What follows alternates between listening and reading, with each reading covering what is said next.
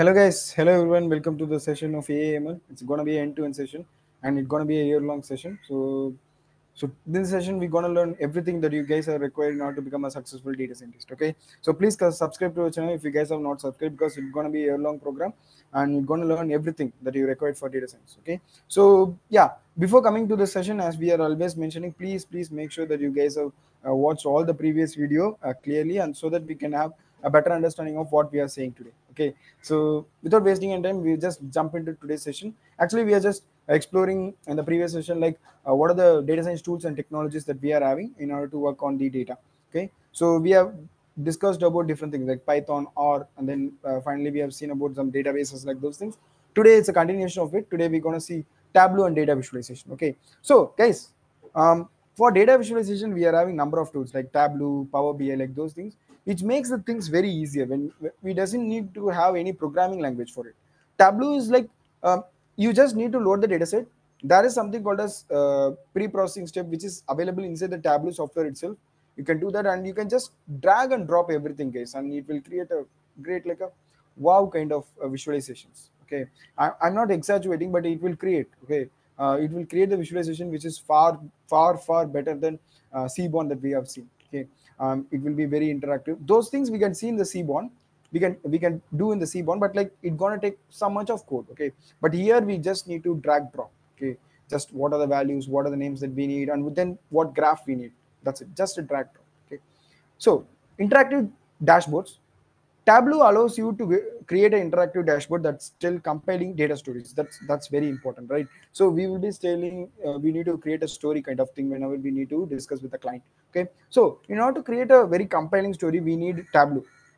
Tableau kind of softwares which creates the data visualization for us and it will create a report itself. Okay, we doesn't need to create a visualization and we need to create a report. No, everything will be available in Tableau. Tableau as a dashboard kind of thing. Dashboard is simple thing like whenever we create a number of visualization the same page then it is called as a dashboard and there will be filters kind of thing and we can adjust and we can do everything okay so it creates an interactive dashboards okay for the user so that um, as we are mentioning in the previous session right kind of a filter okay? We just throw all the data set to the visualization and just we can filter it okay by using the interfaces that we are having okay? Next data exploration.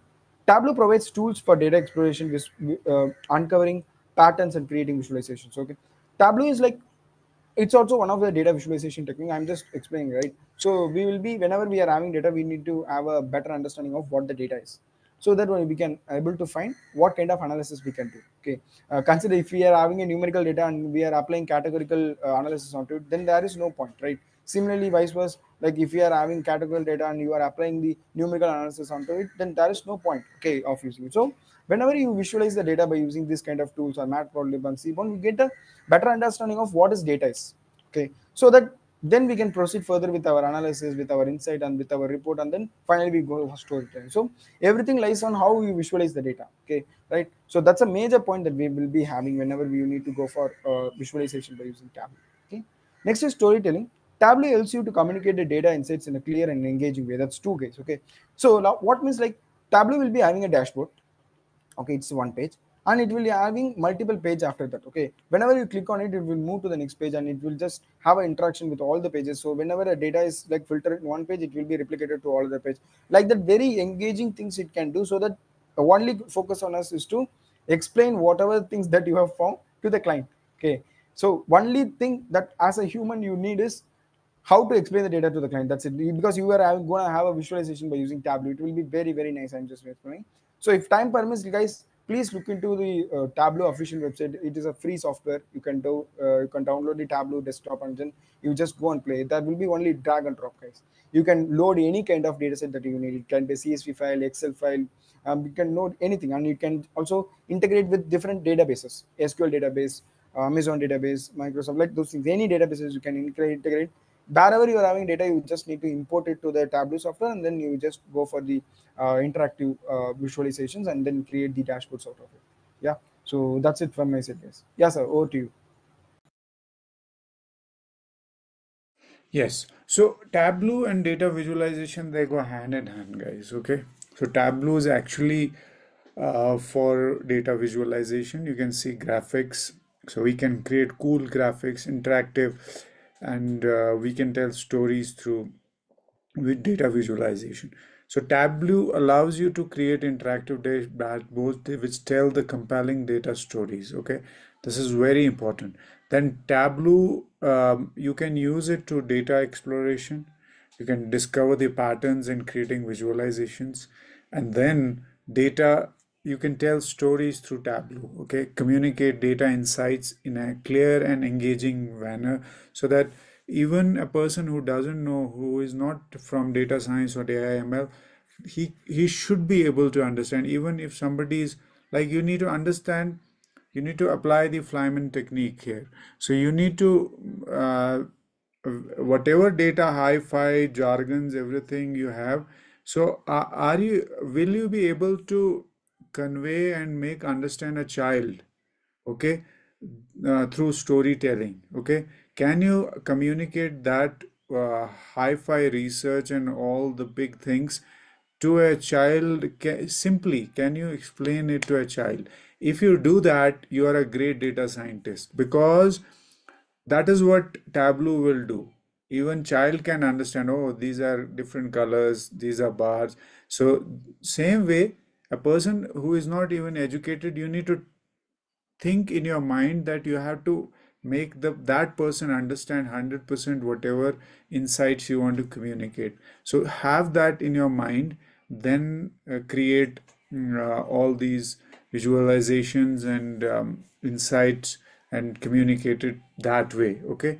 So that should be the baseline and then your ultimately when you have that baseline you will be successful delivering your insights and uh, communicating your insights to the stakeholders thank you Yeah, actually, sir has a great point. Okay, whenever you are able to convey the data to a child, right, then that's the success of us. Okay, so yeah, moving on to the next slide. Let's see what we having next. Yeah, Hadoop and big data processing, guys. Uh, like as I'm explaining, right? So I think we're gonna have a, a very bigger data. Okay, whenever we are having, I'm just saying in a real time, we're gonna have not gonna have a hundred records or two hundred. records. It's gonna be lakhs and plus data. So we should have some techniques to store this data.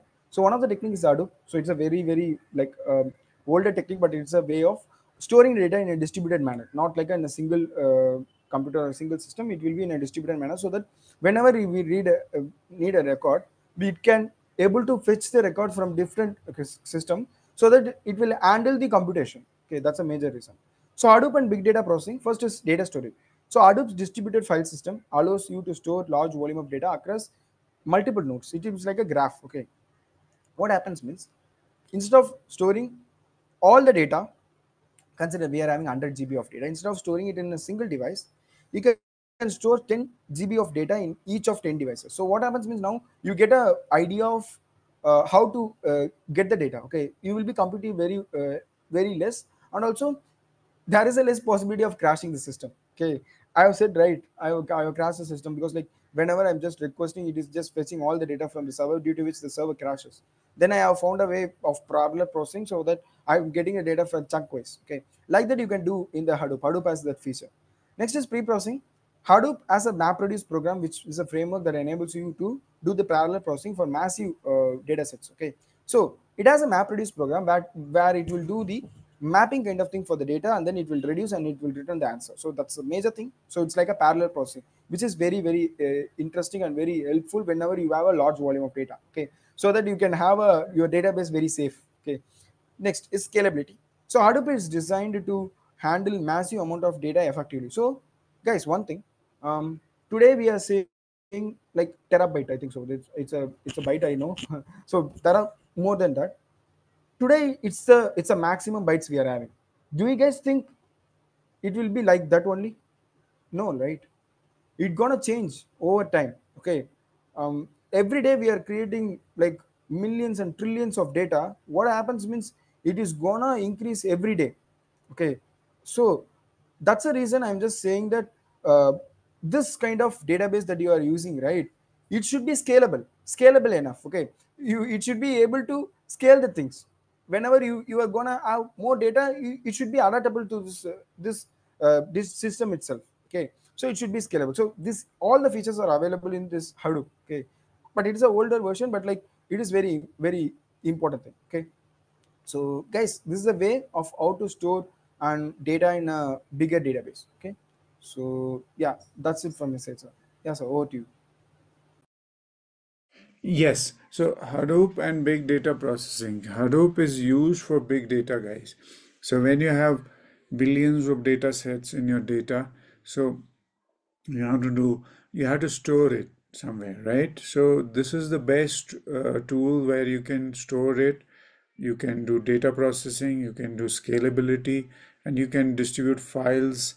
Um, it will help you uh, distributing easily large files, okay, across uh, multiple nodes. So Hadoop again, uh, data processing, it will help you to enable parallel processing massive data sets.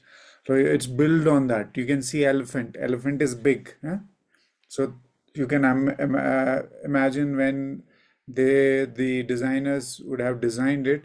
So they say other others are like small animals. Hadoop is big. It's a very giant. Huh? So so you can see, you can imagine from the picture. huh? This is called data visualization. huh? It's it's called visually making people understand this is big. huh? Hadoop. Okay. So uh, scalability. Hadoop is designed to handle massive um, amount of data efficiently because the architect is designed for big data huge amount of data. So that is why it is uh, very, very powerful for big data. Uh, okay, there are other tools also, but it is also it is one of the powerful tools in for big data. So we'll be learning it in the in the course of time. So how will uh, the deeper and meta level. So keep learning.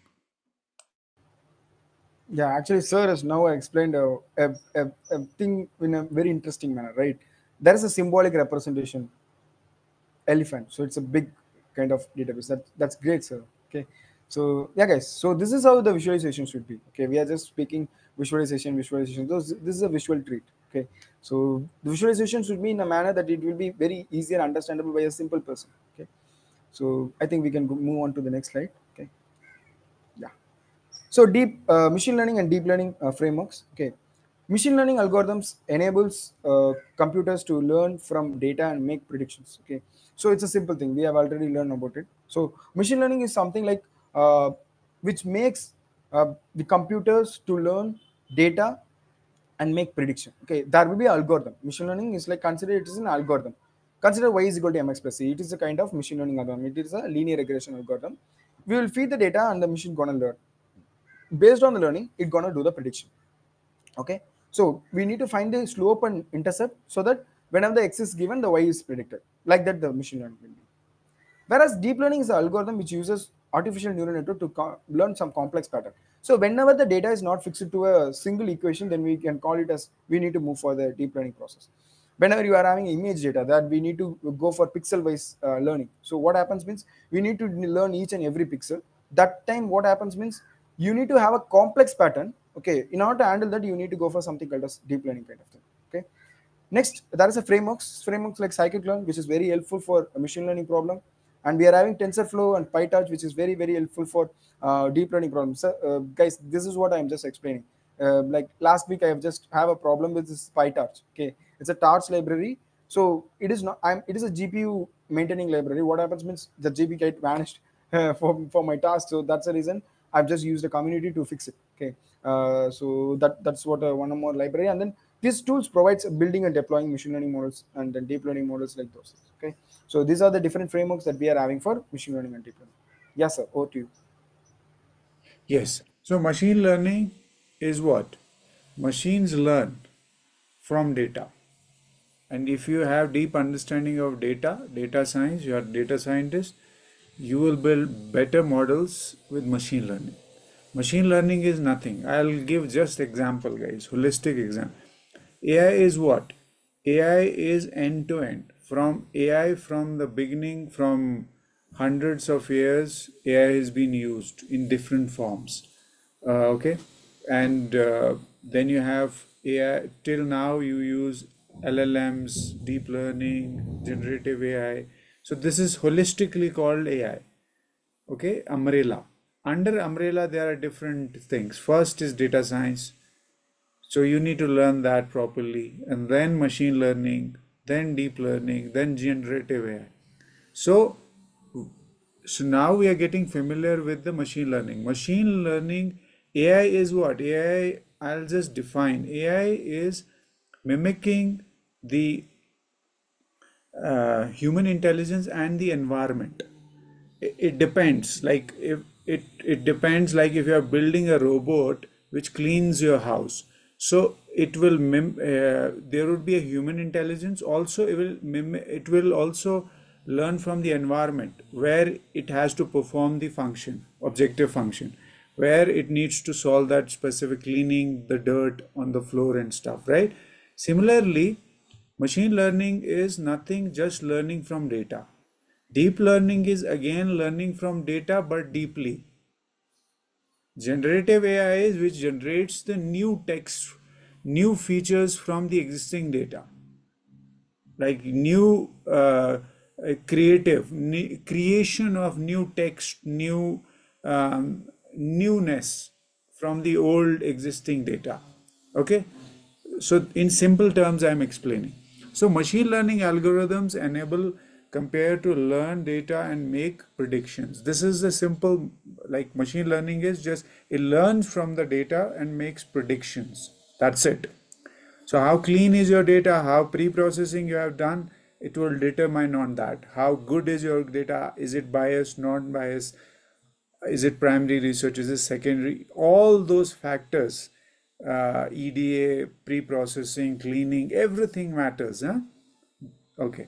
Then deep learning is we use different algorithms uh, like artificial neural networks. Neural networks is again we have neurons. So they the scientists have copied the pattern of our neurons. Not exactly, but um, uh, they have copied they are inspired from neurons. That's why they have called it neural network. So neurons is from human brain has neurons billions of neurons.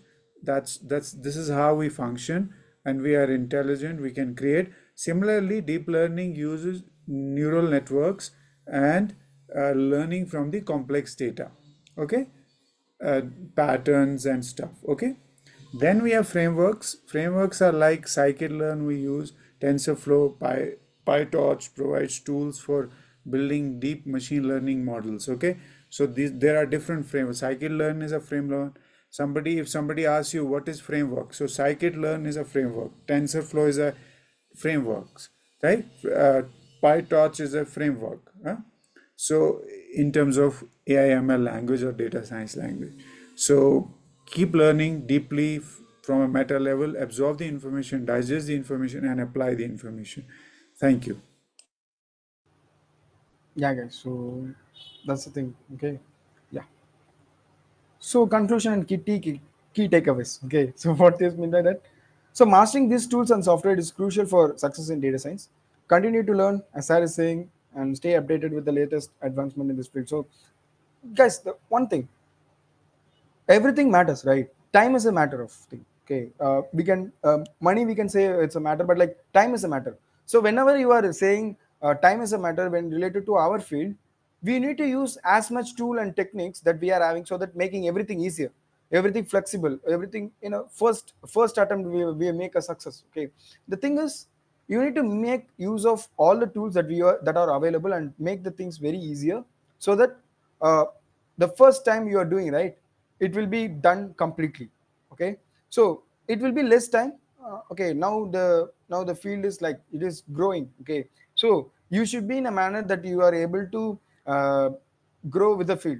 So you need to solve the problem in very less and stupendous, stupendous time so that uh, given time like the thing is you need to use different tools. Then only you can manage these things okay?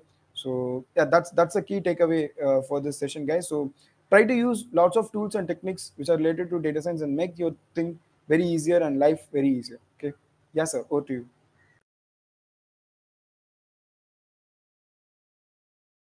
Yes.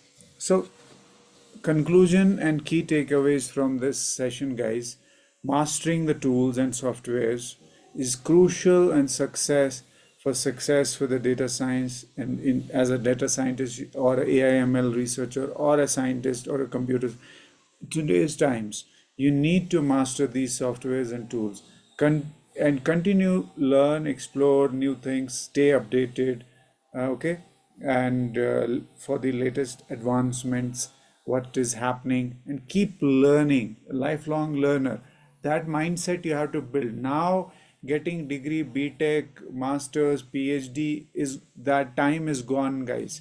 You have to be new every day. You have to learn every day. And it's a continuous thing. You have to continuously evolve. Now it is a lifelong learning thing. It's not degrees and phds even you have 100 of phds that is not going to help you. Continuous improvement in your skills in your in the field. Continuous research publish papers uh, and be relevant build your startups become entrepreneur try try try and um, we'll be always learning okay? So continuous learning is the only thing in today's times guys. There is degrees all these things now they don't matter okay? They're just paper piece of paper. So continue you need to have fire deep fire till we are live we need to continuously learn and upgrade our skills. Thank you so much. Uh, keep learning. Go and watch all the sessions deeply. Five to ten times do reinforced learning. Uh, learn absorb the information digest the information apply the information. Write in the comment section how you're going to apply this information all these uh, skills and tools and concepts and everything. And uh, do all the assignments and keep learning subscribe to our channels thank you Yeah, guys, thank you. We will meet in the next session. Bye.